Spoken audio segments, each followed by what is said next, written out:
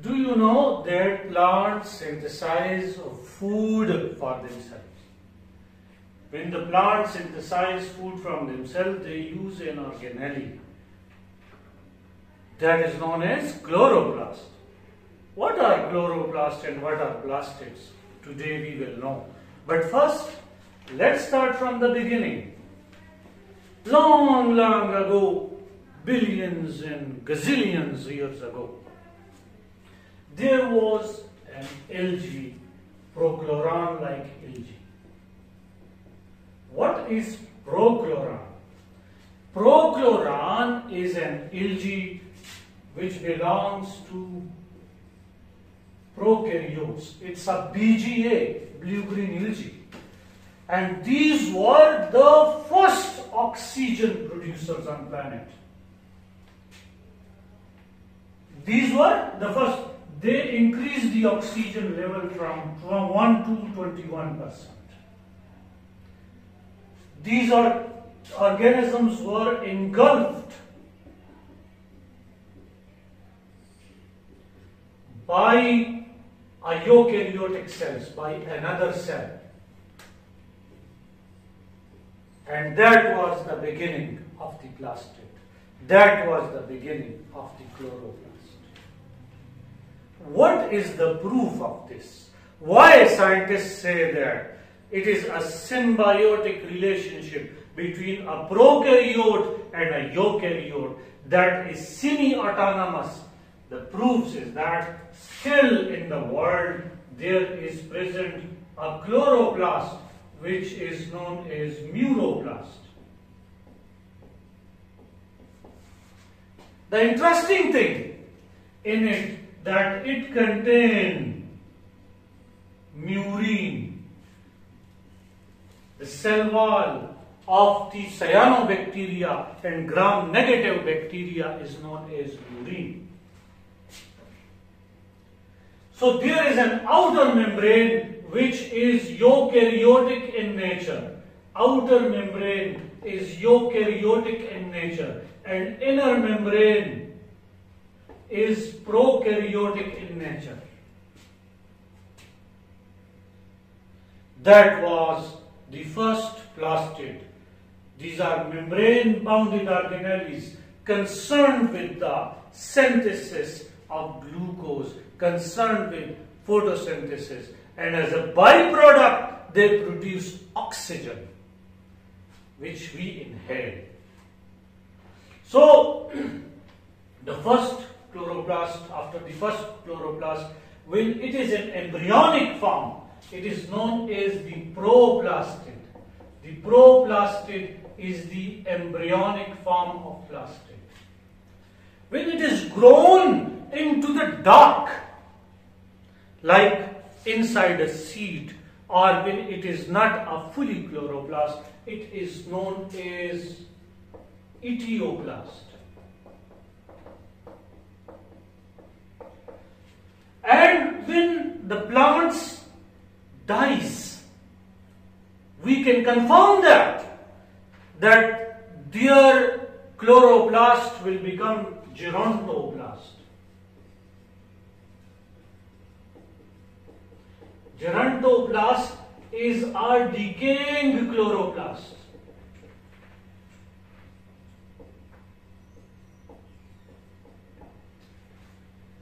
It may be a tenosome as well, which we will discuss later on. But first come to the types of chloroplast. So when we come to the types of plastids, when we come to the types of plastids, there are three types of plastids mentioned in our course. The first type is leucoplast. What is a leucoplast?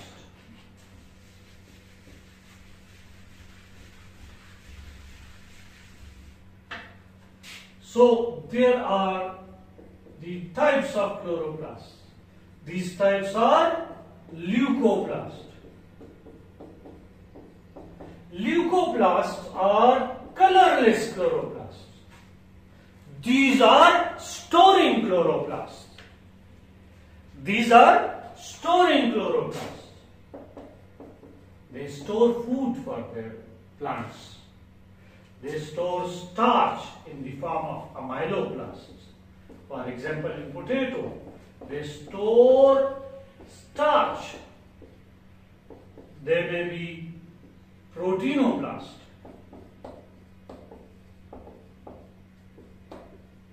They store proteins. Or there may be elaioplasts which store oils. So the leucoplasts are the colorless plastids which store which store food for them. These are also known as lamellated chloroplasts.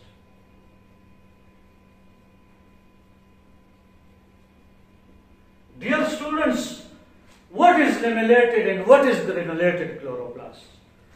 On the basis of morphology, a type of chloroplast which contain only lamellae is known as lamellated chloroplasts.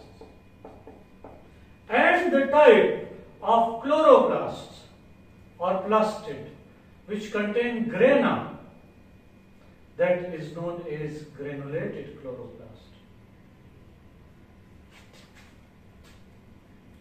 So, on the basis of morphology, they may be different.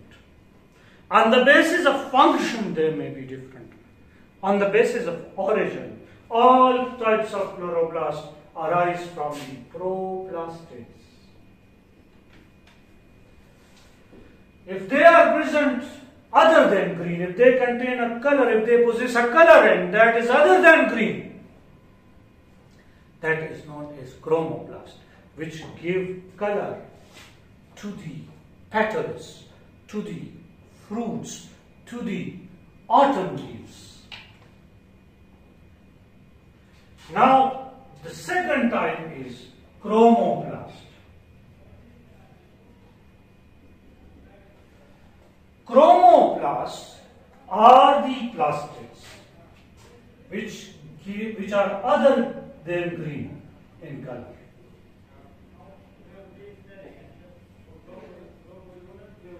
These are other than green in color.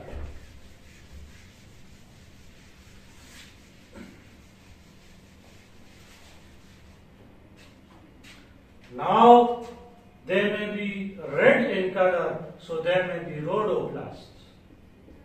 They may be brown in color, so they are known as phaeoplasts.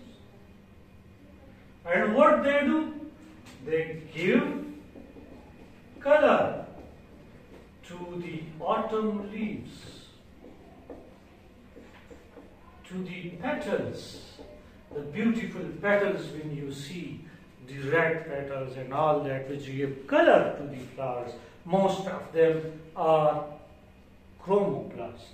And the fruits which give the beautiful and uh, they seem delicious when we see them. That is because of the chromoplasts. So fruit color is given to them. They may come as an MCQ as well. The third type is known as chloroplast. Chloroplast is the most important one and we will discuss the structure of it as well.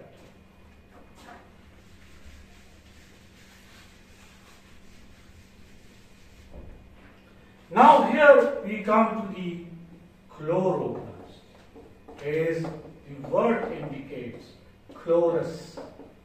Chlorus is green. Plasts are green. Chloroplast is present in all eukaryotic cells, which are which belong to the plants. In all eukaryotic cells, which belong to means all plant cells, possess chloroplast while animals are without chloroplast. So they are green in color. If we look into the shape, first shape, let's see the shape. the shape varies and it is most diverse. For example, in an algae, Magusia, there may be present a star shape which are known as stellate in shape. In one Ilgi, it is maybe a spring-like, which is ribbon-like, spring-like, gyral, or spring-like. That's why the Ilgi is known as spirogyra. Spiral and gyral. That's why it is known as zygonema. In some Ilgi, that's maybe a girdle-like. Some even contain disc shape, some reticulate. So shape varies with the plants. In general terms, when we make a saucer shape, that belongs to the dicot. That belongs to the higher. If we look into the structure of the chloroplast,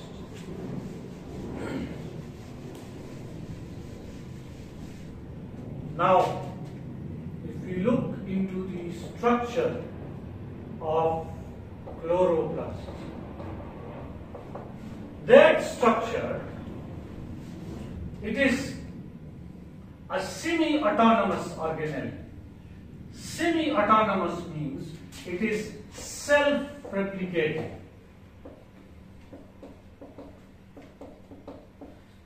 but cannot replicate outside the cell. Why it is self-replicating? Because it was a cyanobacteria once. It lived as a symbiote in a symbiotic relationship. There is a theory which is known as endosymbiotic theory. It contains its own DNA, which is circular like the prokaryotes. It contains its own ribosomes. It has an outer membrane which is eukaryotic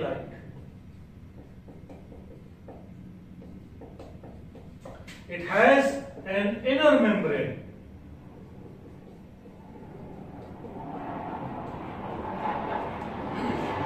which is prokaryotic.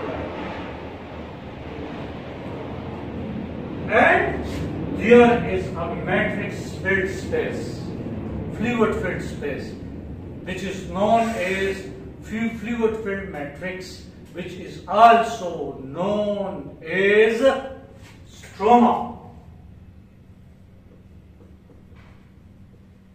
What is stroma?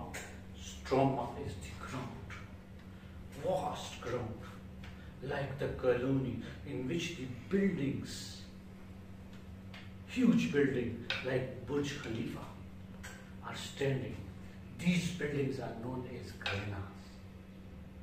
And they have factories, units, chlorophylls, and these factories are interconnected by some ways, some channels. These are known as intergrana. So that field is known as the stroma. It is filled with enzymes. The most important enzyme, the most abundant protein on planet Earth is Rubisco. That is Rubisco. It is present in the stroma. Starch granules, micelle, starch granules, micelle is also present. Some oil droplets are present. So starch may be there, some oils may be there, and there are grain. That whole structure, that whole structure is known as grana. Plural grana that one part is known as thylakoid. And inside the thylakoid, that is a membrane, a coin-like structure, a rounded structure, and that place is known as lumen. And a photosystems are present on the thylakoid membrane. The photosystem 1 is outside, the photosystem 2 is inside of the thylakoid membrane. And proteins are stored, pro, sorry, protons are stored which will later on synthesize, which will later on synthesize the ATP in the light reaction. So light reaction occurs inside this building, inside this grana, inside these thylakoid. And photosystems are present for them. NADPH and ATP is formed inside this. The two grana are interconnected by intergranum.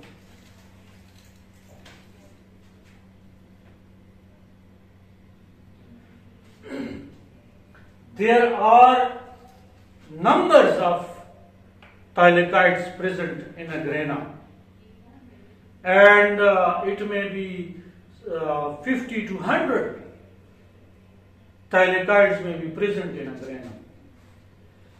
So that grana do the light reaction. The stroma, inside the stroma, the dark reaction, the Calvin cycle occurs. The dark reaction, the Calvin cycle occurs. The glucose, the PGAL is synthesized. So there are four parts, dear students, four parts of a chloroplast. Outer membrane, inner membrane, stroma, granum. And inside the stroma, dark reaction takes place. And inside the grana, thylakoids, intergrana are present. The thylakoid is concerned, the granum is concerned with photosynthesis. That is uh, off for now. Inshallah, later on we will discuss that in very detail. Thank you.